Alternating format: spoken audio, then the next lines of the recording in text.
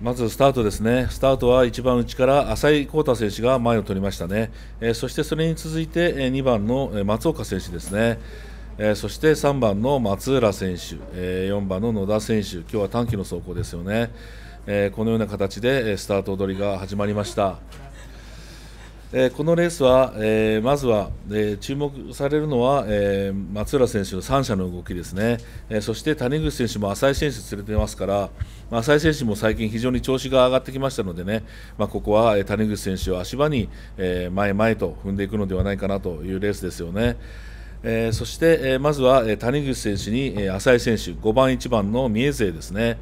そしてその後ろ、え2番の松岡選手とね外今、外側に小川祐介選手がいるんですけどね、まあ、ここは、えー、入れてもらえずに後方に下がる展開になりましたね、えー、3番手には、えー、2番、8番です。熊本勢ですね、松岡選手に伊藤朝日選手、熊本両者が、前から2番目のラインです、そして前から3番目のラインが、松浦選手に、香川選手、そして高原選手ですね、ここは中四国ラインの3名です。最高峰には短期の2人4番の野田源一選手に7番の小川祐介選手が後方待機です、このような形で、えー、レースが進んでいるわけなんですけども、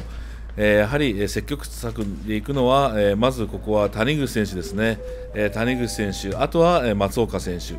え、それに対して3番の松原選手がどういうレース運びをするかなというところなんですけども、え、このレース、松原選手が、えー中段にいるところで、まあ、後方から野田選手が動くんですよね、えー、短期が野田選手が動いてレースを崩します、えー、短期でもねこうやってレースを崩していくのは非常にいいことだと思いますよね、えー、それに乗る形で松浦選手が動きましたから、まあ、野田選手のきっかけでレースが動いたということになりますよね。えー、野田選手が1回前まで行きます、インを切りました、えー、誘導員は、えー、残り2周で退避しました、えそこから松浦選手が1回前に出て、えペースを作りますよね、えこの辺さすが松浦選手ですね、え先行時差の気持ちで、え前